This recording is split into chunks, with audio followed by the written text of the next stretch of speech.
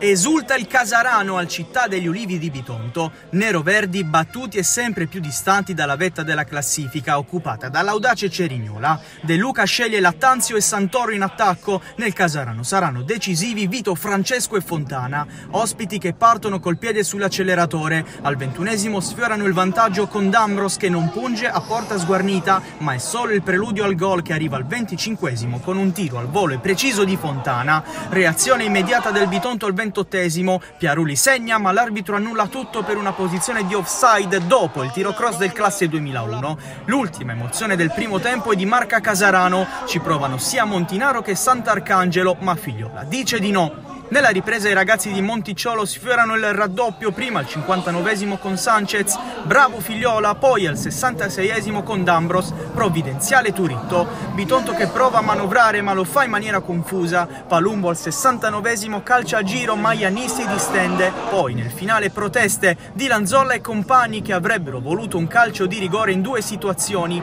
all'85 quando ad andare giù è Palumbo e un giro di lancette dopo per presunto fallo su Riccardi, ultimo Ultimo brivido al novantesimo, Colella prova la conclusione da fuori, sfera deviata che termina in corner. Termina così 0 a 1, festeggia il Casarano, il Bitonto esce tra i fischi del Città degli Ulivi.